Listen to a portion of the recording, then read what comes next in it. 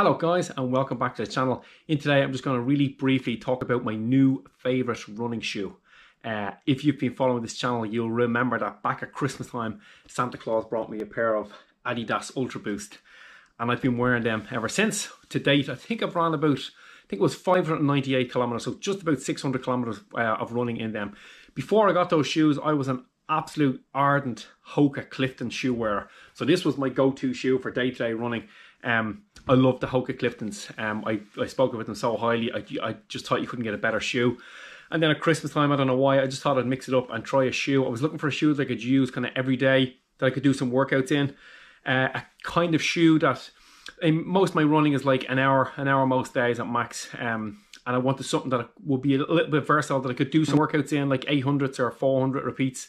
Um, something that will give you a little bit of support, but also allow for that kind of give when you're doing your um, quite hard sessions and something that was pretty light too. So this shoe, I think I paid 140 euros for it. So just for your average day-to-day -day runner, if you're just getting into running, it's probably a little bit too expensive. And if you're just doing a couple of runs each day, this shoe, you could probably get something a little bit better for bang for your buck by going a little bit cheaper. But if like me, your goal is to try and run five or six days a week, or I try and run every day because life just throws up days off every now and again. So this is the shoe that I go for. Um, it's a really good versatile shoe and there's a couple of things that I really like about it.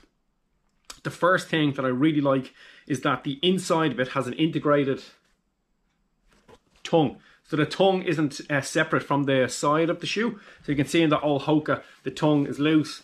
So when the shoes get old, I find the tongue starts to starts to bend a little bit, starts to crease. And when you're putting on your shoe to go for a run, sometimes you don't realize you might get like, you know, a couple of minutes down the road and you realize the tongue is caught and then it starts to dig into your uh, side of your foot. So this shoe, the tongue is integrated and that is really, I, I never noticed it when I got it, but it's something that since I've got it, I've noticed it and it's, it's fantastic. Jumping on from there then, it's the second thing is that the laces attach to this little plastic thing at the side. Again, when I saw them first, I thought that was going to annoy me, but what it allows you to do is because the tongue is integrated, and the laces don't go through the side mesh of the shoe, you can pull them nice and tight without them digging too hard into your into your um into the side of your foot. So it's really good. Something that I absolutely never thought about, but it's just turned out to be something that's so comfortable. And the side of my my side of my foot on the inside on both is a little bit sensitive, probably even running for so many days over so many years. And sometimes I find if you pull the laces too tight, it gets almost a little bit like sore or a little bit uncomfortable. I just never get that anymore with these. And it's like I said, it's something that I never thought about, but it's thrown up. The third thing that I really like about these Ultra Boosts is that the very front, okay, so the, the, the mesh at the front here is quite soft and forgiving uh, because the shoe is quite light. But at the very front, like right where your toe is, it's really hard. Like they, they've hardened it up. There's no way your tongue, your, your any of your toes are going to burst through this.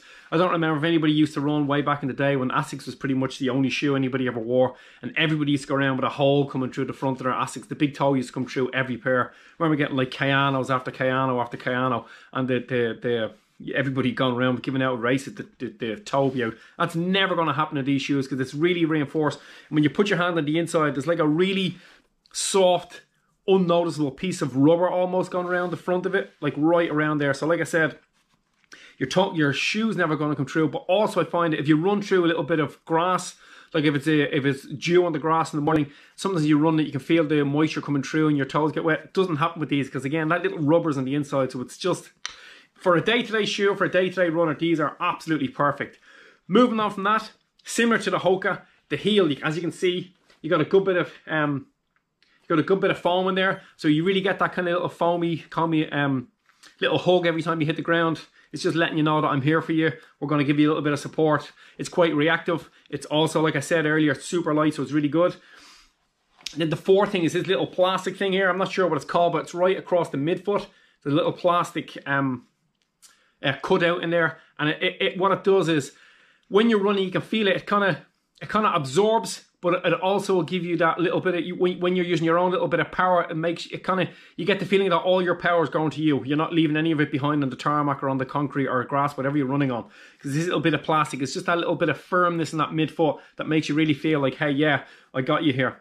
And then the last but definitely not least the thing that i like about these as a day-to-day -day shoe and it's gonna probably pip me from buying it, make me buy another pair of these and not go with the Cliftons anymore. I think I'm gonna give up on the Cliftons for a while.